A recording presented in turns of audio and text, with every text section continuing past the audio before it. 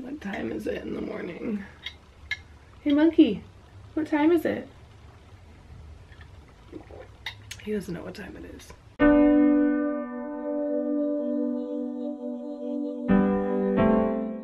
What's up you guys? Welcome back to another video. My name is Kristen and today I'm going to be doing another what I eat in a day video for you guys.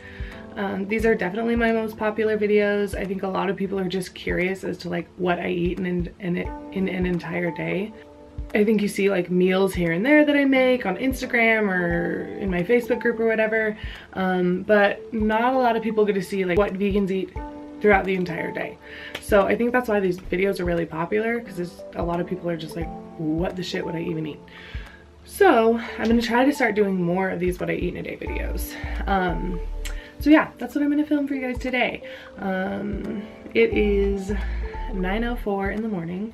Um, I got up about a half an hour ago and like cuddled in bed with my cat and my boyfriend and went outside and got some fresh air. It's beautiful out. It's kind of like a gloomy overcast spring day um, but the temperature is really nice out. I think we're gonna go on like a hike or something in the foothills maybe.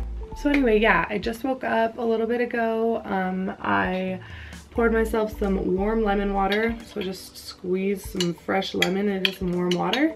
Um, I try to drink this every single morning. It's really good for digestion.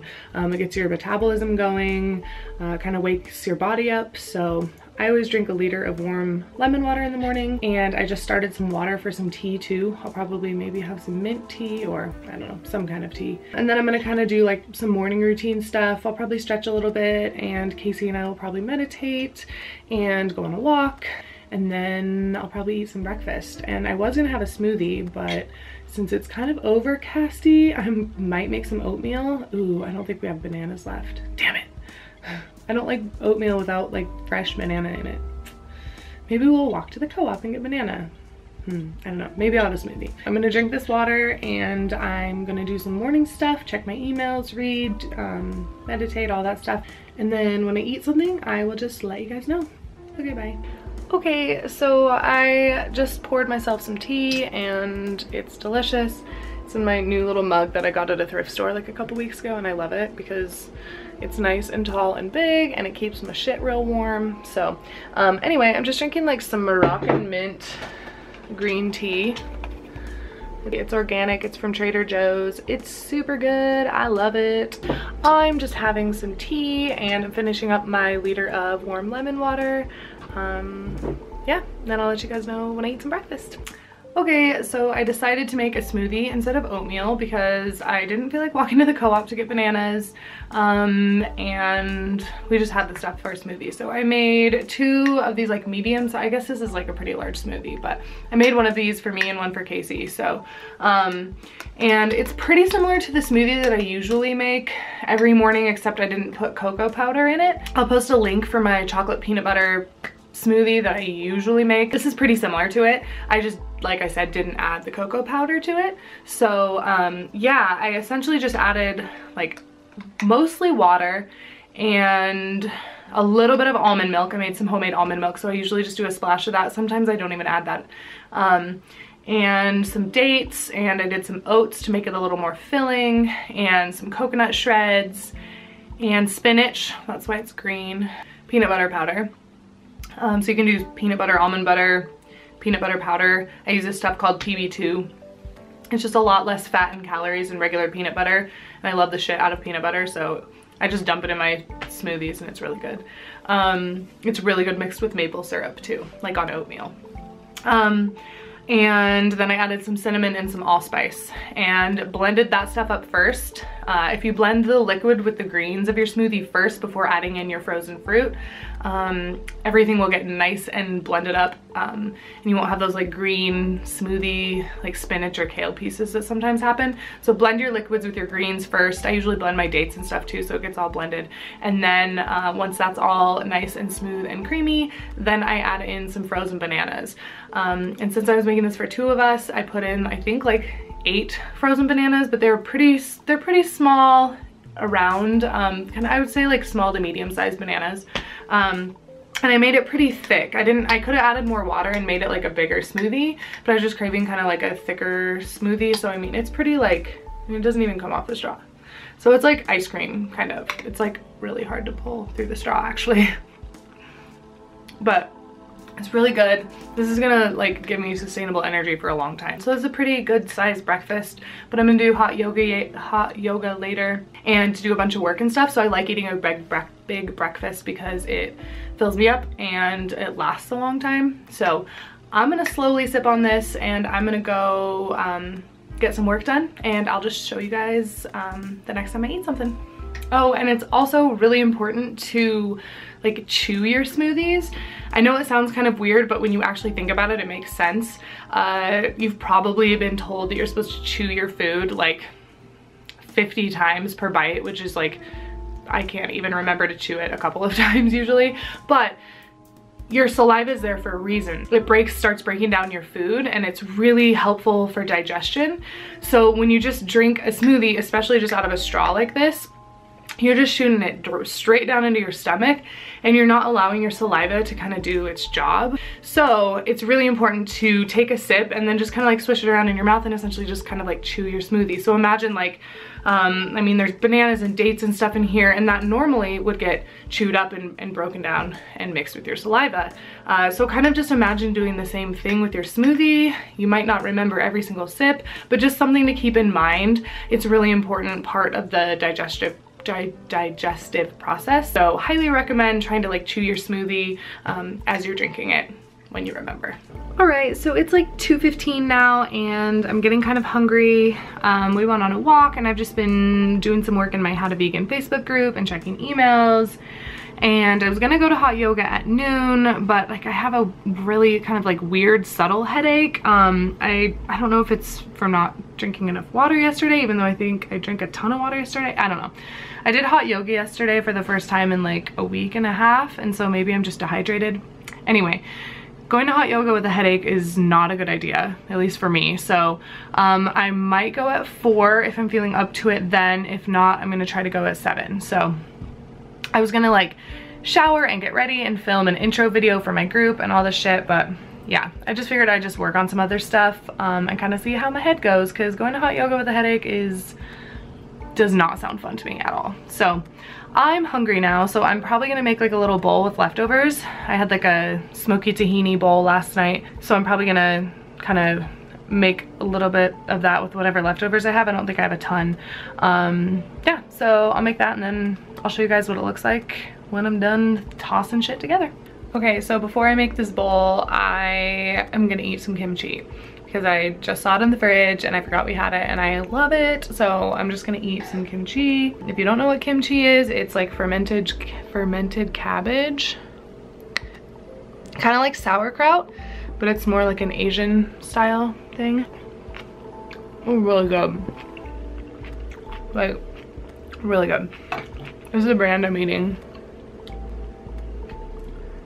I think it's wild brine and it's the Korean kimchi yeah, wild Brine. Anyway, it's really good. So it's really good for you. It has a lot of probiotics in it. So really good for your gut health. It's a good idea to try to eat a little bit of fermented food every day. So if you're not taking like a probiotic supplement, try having some sauerkraut or some kimchi or some kombucha. So yeah, I'm just gonna have a couple bites of this uh, delicious um, kimchi and then I'm gonna make the bowl that I was saying I was gonna make. so good. Okay, so I just made like a random ass bowl full of like a ton of leftovers that we have in the fridge. I'm gonna go get groceries today because we literally have like no food. We don't even have like sweet potatoes that I could have like steamed up or roasted to put with this. So I'm literally eating all of the leftover spinach we had. So any, any of the leftover greens we had, that was all of it. So I chopped that up and then um, I just heated up some rice with a little bit of water um, to reconstitute it a little bit so it doesn't get too dry in my bowl. Um, put that in there and some beans that I just uh, stirred with a little bit of nutritional yeast. Um, so put those in there and then I did some red onion and this sauce that I made, which is one of my favorite sauces. It's like a smoky tahini sauce. Um, so it's just made with tahini, which is just ground up sesame seeds. Um, and it has um, a bunch of other, of other stuff in it and it pretty much tastes like a creamy barbecue sauce. Um, so it has like liquid smoke and nutritional yeast and garlic powder and a little bit of maple syrup and sriracha and a bunch of other stuff. So um, I'll do a video with the recipe for that soon um, so you guys know what it is. But yeah, this was all just leftover stuff that's usually what I'll do for lunch is just like quick leftover stuff so that I can work because I get a lot of my work done during the middle of the day. So yeah, I'm just gonna eat this bowl um, and then I forgot I needed to get groceries today till I actually went and like started looking in the kitchen. I was like, oh yeah, I need to get groceries. So either gonna go to hot yoga soon or get groceries. I don't know, either one, but yeah. Let's try this at least and see what it tastes like. But I know it's good because the sauce is amazing. Mmm. Mmm. Mmm. Mmm. That sauce is so good. Yum. Oh, and I'm having a, uh, a LaCroix because why the shit not? And I'm also drinking, I think this is my third liter of water today. So yeah, this is my third. So I'm starting on my third liter. So yeah, I'm gonna eat this bowl and um, I'll just update you guys the next time I eat some food. Oh man, busy day. Okay, so I just got home from the grocery store. It took way longer than I thought it was going to. It always does. Hi, monkey. I was like, oh, it'll take me like an hour, but I have three places I had to go. No, four places I had to go, including getting cat food for my cat. So it took way, way longer than I thought it was going to. So needless to say, I'm super hungry. I think it's like almost eight. It's 7.51. So it's almost eight o'clock. I haven't eaten a ton at all today. Um, so yeah, I was gonna make like a delicious dinner of some sort to show you guys, but because it's kind of late and I had to do all this grocery shopping and I totally forgot that I have a show that I'm going to tonight at the Neurolux um, called Floating Points or Floating Point, Floating Point. I can't remember. I don't know. I found out about it yesterday. It seems like an awesome show, so I'm gonna go. So I just got like a um, burrito bowl from the co-op, which is like five blocks away from my house. I usually get burritos. I've never gotten the burrito bowl because they don't have lettuce. They just have cabbage. But I just went grocery shopping, so I have a bunch of romaine. Um, so I figured that I'll just get the burrito bowl stuff because they have a really good like vegan nut chorizo. And then um, I'll just like chop up romaine at home. Ow, monkey. He knows I got him cat food, like wet cat food, and he wants it. Ow, monkey. What are you doing? What are you doing down there? You don't know? Tell everybody what you're doing. Are you being cute? So anyway, um, so I'm going to probably chop up some romaine and I'm gonna make a cashew sour cream to go with it because it's pretty plain as is. Um, they're out of avocado too, so they didn't have any guacamole or anything. I'll show you guys how I make my cashew sour cream, which I've been meaning to do a recipe video on anyway. So you guys that are watching this get a little sneak peek because it's the best vegan sour cream ever. Um, it's like four ingredients and it's super easy and it's really fucking good. So um, yeah, I'm gonna make cashew sour cream to put on top of it. And if I put anything else, I haven't even opened up the box, so I don't even know what it looks yet, looks like yet. They're out of the rice I usually like too, so we shall see. While I'm making the little bowl, since I'm starving, these were on sale for like a dollar fifty or something. It's these like gimme organic, um, like seaweed snacks, roasted seaweed snacks. Probably not gonna focus on it. There we go. So it's Gimme Organic Roasted Seaweed Snacks and this is like the wasabi kind. If you've never had them, they're really good and sea vegetables are really good for you. So they're just like these little like paper thin nori sheets like you would get if you're rolling sushi, but they're like roasted and toasted and delicious. And then these ones have wasabi on them. I've never gotten these ones before, um, but they were on sale. So I was like, I I'm gonna get them, but I'm gonna probably have like four or five of these little squares and then I'll eat my burrito bowl. It was like the sexiest thing to eat ever. Mmm. And they're really addicting. Like I could probably eat a whole box of one of those.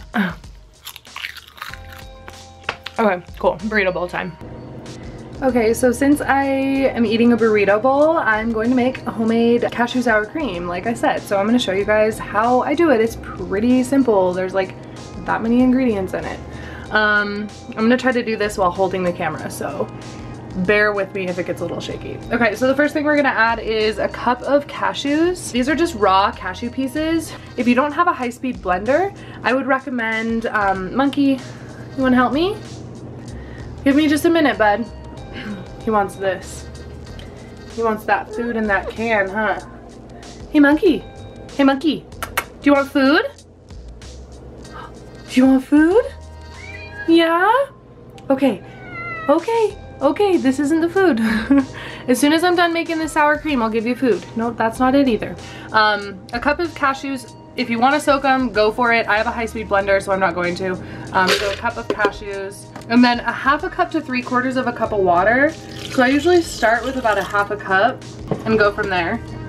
Um, and then we're gonna add in um, two or a teaspoon of apple cider vinegar. So like a teaspoon of that um, is gonna go in. I don't really measure stuff, so yeah. Um, and then uh, two teaspoons of fresh lemon juice. So I'm just gonna squeeze some fresh lemon juice in with one hand. Boom. And then um, a half a teaspoon of salt. So you can do less if you want, you can do more if you want, whatevs. So I'm doing like about a half a teaspoon of salt. Um, I'm gonna add a little bit more because I can just tell that I need more because I've made this a million times. So however much salt you need, I know how much I like, but. And then you just literally put the lid on and blend it up and then see if you need to add more water or more cashews and taste it and see if you need more salt or apple, apple cider vinegar or lemon. So yeah, let's pop the lid on and blend this up. All right, so this is looking like a pretty good consistency so far. Um, kind of nice and creamy. It's still pretty grainy, but I like to check kind of, you know, after I start blending it up for like 30 seconds to just kind of see the texture to see if I'm gonna need to add anything else. This is looking pretty good. This is gonna thicken up a lot in the fridge, so just keep that in mind. So um, if you're gonna put it into the fridge and leave it overnight, I would recommend making it thinner than you want it to be. Um, if you're gonna eat it right away, then make it the consistency you want, but it's better after it sits overnight anyway. So I'm just gonna keep blending this up and then taste it and then I'm gonna eat my burrito bowl. Okay, sweet, it's all done. So you can see it's totally, the lighting's not super good in here right now, it's dark out, but the consistency is creamy and delicious and it tastes just like sour cream. Um, it's tangy and a little bit salty and creamy and it's so good. I'm gonna pop this into a container to put into the fridge and then I'm gonna build my little burrito bowl. That's what it looks like when it's all finished. And again, this is gonna thicken up a lot in the fridge. So um, I usually just put mine in the freezer while I get the rest of my food ready. So it kind of thickens up a little bit and cools down a little bit. But yeah, that'll like really thicken up. So that's a pretty good consistency if you're gonna let it thicken up overnight. Okay, so let's check out what's in this box. I got a burrito bowl. spelled my name wrong but whatever. I really don't care because it sounds like that's how it should be smelled. Anyway, okay, so let's see what this baby looks like and then kind of get everything all plated. So we've got cabbage on top, clearly. Grab a fork. Um, cabbage, and then there's like the chorizo, like the chorizo nut meat stuff. And it looks like maybe some, oh, that's cilantro. And then there's beans and rice and jalapenos. And like that's it. So it's a ton of like filler stuff. So it's like beans, rice, a little bit of cabbage. So that's why I'm gonna, this is literally could probably be like four servings. It's really heavy. Um, so I'm just gonna make like a little salad with some of this stuff. All right, so I finally am eating some dinner. It's officially 8.41 p.m. Um, and I'm finally eating dinner. So um, I sometimes eat late dinner. Uh, I usually don't go to bed till like midnight or 1. Uh, Casey usually works until like 11 to midnight, so I usually stay up and, and wait up for him and hang out. So I usually eat dinner around 8 or 9, so this isn't like completely weird. But yeah, I'm pretty hungry, so I'm excited. So I'm gonna shut up and eat this. But um, yeah, just made a little burrito bowl um, I'm gonna have a ton of leftovers. The co-op gave me like so much stuff, so I'm super stoked about it. But yeah, I just kind of like made a little burrito bowl with some lettuce, some chopped up romaine lettuce on bottom, And then I added like all of the filling stuff that I got at the co-op, which was brown rice and black beans and pinto beans. And they have like a vegan nut chorizo. It's kind of spicy and really good. And some cilantro and some jalapeno. And normally I would get avocado, um, but they were out. So yeah, and then on top of that, I just drizzled some of the um, homemade cashew sour cream that I just showed you guys how to make, which is like my favorite part of this entire meal. And then I got some cilantro at the grocery store, so I just chopped up some more of that and put it on top because I love cilantro. So this is probably like my fifth liter of water now, so I'm gonna drink, I usually like to like chug a half of one of these, not chug, but well, chug a half of one of these before um, I eat.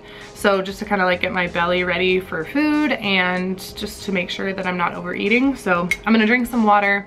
I'm gonna eat this burrito bowl and um, I'm gonna go downtown and see a show. I guess we should see how this is because I'm pretty excited about it. I feel like this like nut chorizo stuff in a burrito bowl with the sour cream is good. I usually get the burrito and then just like put the sour cream on it, but I'm really trying to eat a lot less processed food. So I was like, well, I'll try this burrito bowl. Maybe they'll give me like more stuff and I can make like more servings out of it, which is like totally the case. So super stoked about it. I'm trying not to get like a completely messy bite. This is gonna be a mess, but whatevs. Get my hair out of the way. Mm-hmm. Mm. Oh yeah, and they put um like mild sauce and hot sauce in there, so it's kind of like a couple different like salsas, I guess. Mmm. It's spicy, but I love spicy food. But the, um, the like sour cream with the lemon and stuff in there totally helps with the spiciness. So this is really damn good. All right, well, I'm gonna eat this and I'm gonna go downtown to see some live music and um, I'm probably not gonna eat anything else today. If I get home and I'm hungry later and I eat something, I'll totally show you guys, but I have a feeling this is gonna be it for the day. So um, I didn't eat a ton today, but I was busy and I had a lot going on. So I'm gonna eat this until I'm full. And again, if I'm hungry later, I'll totally show you guys what I eat. I hope you guys like this video. If you guys like these what I eat in a day videos, please let me know. Um, just let me know down in the comments below or give it a little thumbs up. These are my most popular videos, so I really hope that these are helpful, at least a little bit inspirational for you. And yeah, if you're not subscribed to my channel yet, please subscribe. There's a little red button down below. And um, yeah, I will just see you guys in the next video. Peace.